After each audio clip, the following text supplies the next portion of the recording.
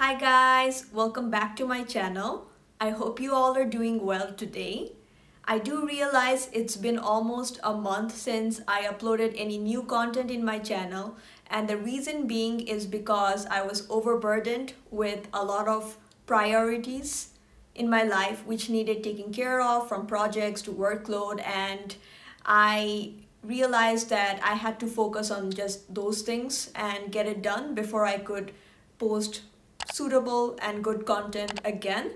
Right now my schedule has freed up and I am going to be posting a lot of new content for you guys. So today's video is going to be about what to wear during winter in Canada. As you guys have seen in my stories that it's been snowing in Calgary on and off for the past month. It's minus 11 degrees today. It snowed again the whole of yesterday snowed completely and I've decided to do a video to show you guys what we wear during winter as it was asked by a lot of you guys and I'm going to get right to it. So let's get started. So first up is the outerwear which are the jackets. Now there are two types of jackets long jackets and short jackets depending on your preferences we have both of them. I prefer the long ones and my husband Kazi, he prefers the shorter ones. And our jackets are not down-filled jackets. So down-filled jackets are jackets which are made of duck or goose feathers and they're really expensive. Uh, down-filled jacket, if you were to buy it in, let's say, the cheaper stores, it would cost you at least around 200 to 300 dollars. But all our jackets are bought from Bangladesh. We did not spend any money on jackets over here. And the ones which we got from Bangladesh we are surviving with it. And it's our second winter this year. And I'll show you how we are surviving with the jackets which we got from Bangladesh. So I'll start off with my husband's jacket first. He likes to wear a short jacket which comes up till your waist and this is how the jacket looks like. So it's a windbreaker and the material is polyester. So what he likes to do is he likes to wear hoodies inside this jacket. One, because there is no outer hoodie to cover your head so what he does is when it's minus 2 to minus 10, he will be wearing a hoodie which looks like this. And he will be wearing a t-shirt underneath the hoodie and then he will be wearing this jacket. So when it's your first winter, you guys take all the precautions you can. You can layer up two or three, two more times inside this hoodie and then wear the hoodie and then wear the jacket. So it will keep you warm till minus 10. These jackets are good for minus 10. Now, I'll show one of my jackets. So I like the longer jackets because I like to cover till my thighs. Obviously, if you have longer jackets, it will keep your thighs warmer. But it's again up to your preference. Guys, a lot of the guys just like till waist. I like it long. I've seen even guys wear long ones. I've seen girls wear shorter ones. So it actually just depends on your preference. And even this is a windbreaker, meaning that it will prevent the wind from blowing you apart and the wind really coming at you. So it even has these things underneath the windbreaker which will you know close your hands like this. So it will lock your hands and you won't feel the wind going inside your hands. And this is really good. What I tend to do is I like to wear a sweater and I even wear a t-shirt or two underneath it. And sometimes I even like to wear it with an open hoodie which is again long. And I just wear it inside this. So I have coverage for two hoodies. And this jacket is also good for minus 10 it can go up to minus 15 so the key is to layer underneath your jackets. So if you are planning to get jackets from Bangladesh and I strongly recommend all the newcomers who are coming to Calgary or Canada to see if it's available in your country and best to buy it from your home country because this jacket only costed us 1500 taka and it was bought from Bongo Bazaar. My dad actually went and got this. You need to bargain obviously if you go to these sort of places. And this jacket, even in like the cheap stores over here, costs 3000 taka. So that's uh, $50 compared to $20 back home, if that makes any sense. So it is a huge save if you are bringing your family with you to Canada and you need to save money. I think you guys should get the jackets from back home. So another combination which I wanted to show you guys, now it's for like a little bit of lesser temperatures. So this jacket as you saw is heavy, while as this is lighter. This is also my husband's jacket and it is short. So sometimes when you are walking in winter and you are carrying a backpack, you do need your outer wears to be as light as possible so that it can keep you warm and also not take your energy by being too heavy and then you know it will get irritating so he layers up inside this when it gets colder like minus 15 he layers it up with this and then he wears this and then he wears this so there are three hoodies, two thick hoodies and one outerwear jacket and he wears one or two inch t-shirts underneath it. Now the layering up completely depends on your body temperature, your preferences. Some people may feel colder, some people may feel warmer. So it completely depends on you. What I would suggest is if it's your first winter, take all the precautions you can, even if you think that you're overdoing it because we used to wear like three, four layers in minus 2 to minus 10 last year.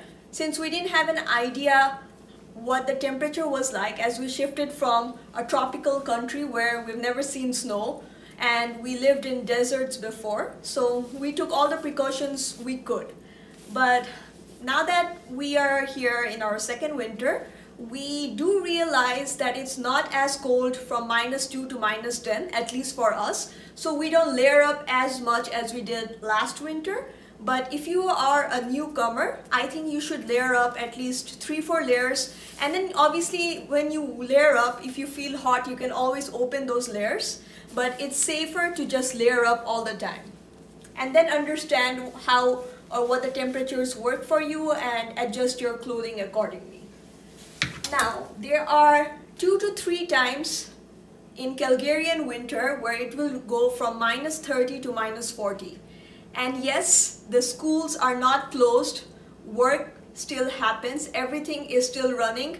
And the city does not shut down unless it's COVID, but the city generally does not shut down due to minus 30 to minus 40 temperatures. And that's when you really need to keep yourself warm especially if you're using a public transit and you don't have a car. So these jackets they're only good till up to minus 15ish but if you go beyond that you either need to layer up more or you can get a thicker jacket. So I got this really thick jacket. I think this jacket itself weighs like 4 kgs or something. And I got this from Bangladesh again. So it's like really fluffy. So it's gonna prevent the wind from the snow coming at you. And it will also prevent you from getting cold as it has cotton wool lining so you can see it has like fur inside it.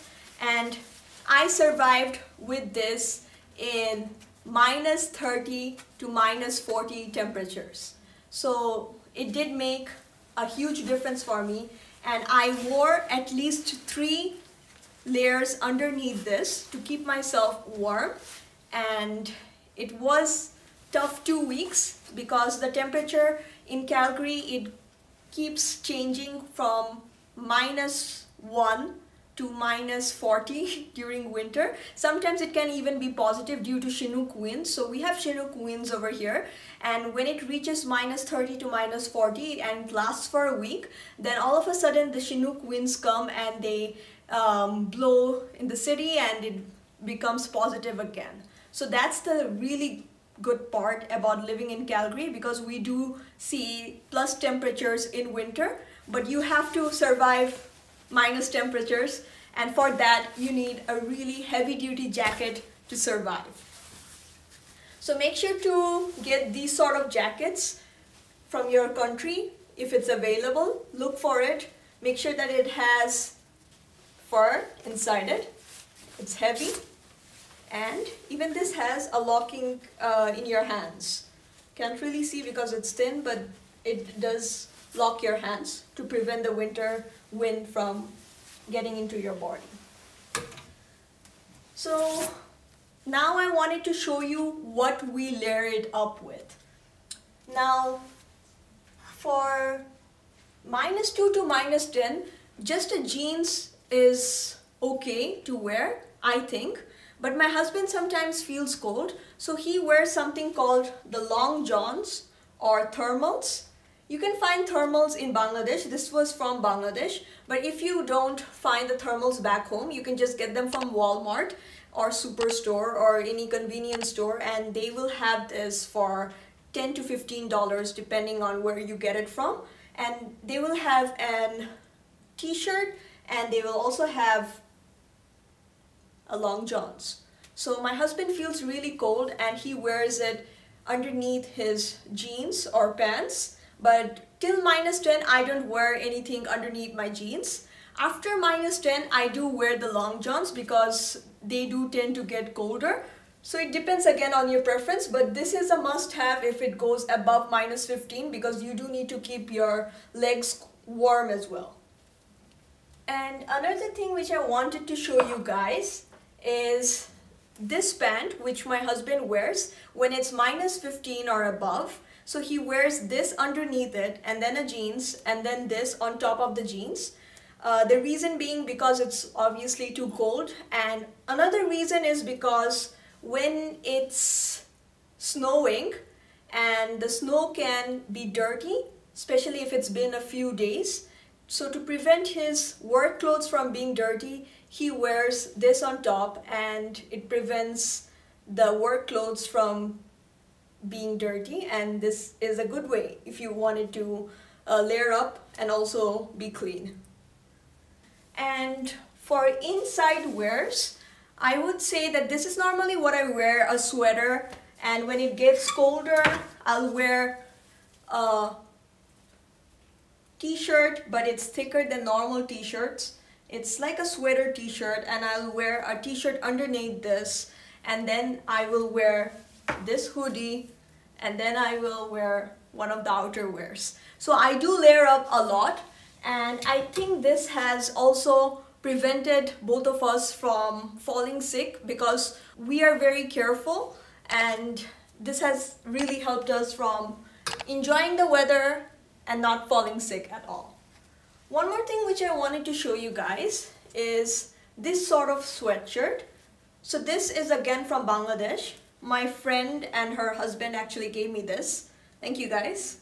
And I got this over here and it, it has really helped me. So it's like a sweatshirt. What I wear is a t-shirt or two inside it and since it's made of wool again, I wear this on top and then I wear one of the jackets and it has worked for me for at least till minus 10.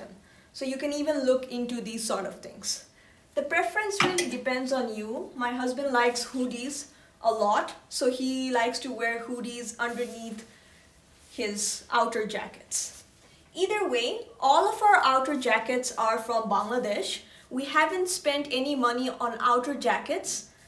So outer jackets meaning these, they're all from Bangladesh. And if you can find it back home, I highly recommend you guys in getting those jackets and not spending money over here because you do need money for other things and if something is available back home it's better to just get it from there. Let's move on to number two. Snow boots. Very, very important in surviving these harsh winter conditions.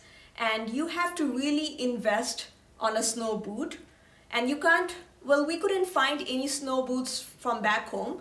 If you're able to find, do let us know by posting a comment below so that I can help the others out. But we didn't find any and we came and we bought the winter boots over here.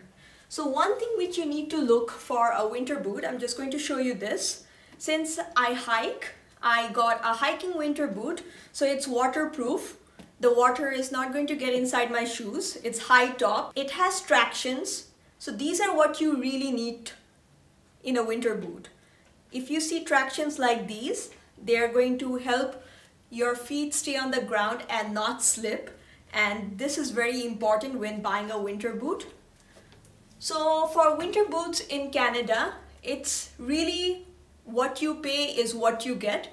If you buy cheaper winter shoes, like let's say 30 to 50 or 60 dollars they're only going to last you one winter not going to last you in minus 20 temperatures and below. So you need to really invest in your winter shoes from 100 to whatever your budget can be from there but it needs to be at least a minimum of hundred dollars. And I'll show you one which I got with $90 and this was from Winners a cheap outlet store which is available all around the city. So it has all the brands but they sell it for a lesser price than the other stores. You're not going to find your size so you need to keep looking. And the collection are nice but they are pretty limited. So you need to keep looking in winners to get the right size, be it jackets or shoes.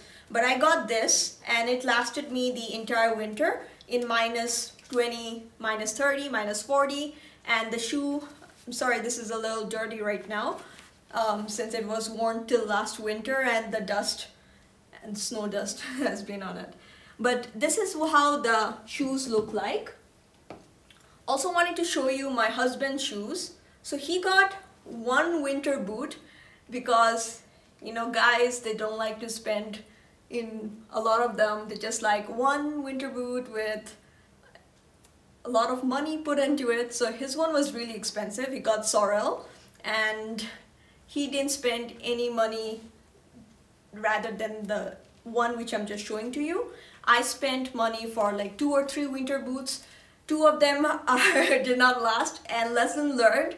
So I am telling you guys, make sure you guys invest on a good winter boot as it's gonna last you at least two to three winters. And don't go spending money on the 30 40 dollar winter boots. They look nice but they're not gonna last you in the winter and not above minus 10 so his one's waterproof too and it has wool in it. And it's Sorel so it's a really good brand.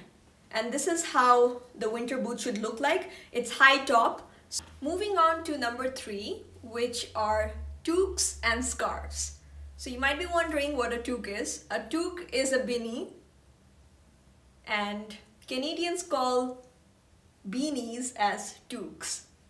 You can wear this to cover your ears. My husband doesn't like wearing it though because he prefers the hoodies cap as it's easier to just wear it make it tight and then when you don't need it you can just put it down and it's hanging whereas for a toque it's like open remove wear remove wear remove. So it depends on your preferences.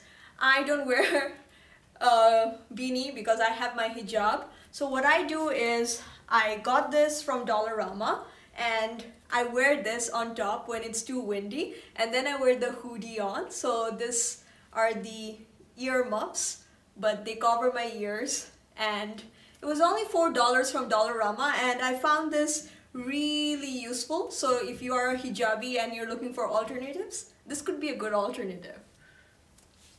Show you guys that socks are really important, especially thermal socks during winter as your fingers and your toes are the weak points in your body and also your nose. So you do need to cover your toes with really thick socks and you can find them in Winners. You can find them in Dollarama. Dollarama sells it from two to four dollars. since it's a dollar store and winners sell it for like five to ten dollars and you can find at least like a few pairs for yourself rotate and wear in winter it will keep your toes warm and another thing which I wanted to show you guys are neck warmers so you can either wear a scarf to cover your neck and your nose or you can even wear something like a neck warmer. So what this neck warmer is it's basically you just put it in here on top of your head and there you go. It looks like it's really cold in here but no guys it's not. I'm inside the house. But this is how it looks like and you can even cover your nose by like this and your neck is covered and you're safe. So this is how it looks like. Or you can go with the classic scarf. That's my husband's city supporter. And you can just wrap your scarf and okay I have like hijab so he just wraps it he double wraps it covers his nose. So you can even do that whatever works for you. I use a neck warmer. I even have a longer scarf. This is a shorter scarf. So this was from Bangladesh and this is from Dollarama. Um, this is only four dollars. You can even find cheaper scarves over here but we just happened to buy our scarves from Bangladesh and we just got them. And the last one for today are gloves. Now I cannot stress how gloves are so important especially if you have no car and you're in Calgary and you're walking all the time. Because your fingers freezing is the last thing you want it to be. It gets really irritating and you don't want your fingers to have frostbite and falling off. So first I'll start off with the gloves according to their temperatures. If you are from minus 2 to plus 5 then these simple gloves will keep your fingers warm. So I got these from Saudi Arabia. They're way back. I got them in 7th grade. They're still with me. But yeah these are the simple ones. You can get them anywhere. And my husband got his one from Winners. This was I think $10 and these are the first type of gloves. Now when it gets colder you have to invest on a good glove so last year, since it was our first winter, we didn't know the types of gloves which was needed and unfortunately we survived with these. But I do not recommend it for you guys. Get thicker gloves. So I got this later. It was a mitten and mittens keep you warm. It has wool inside it.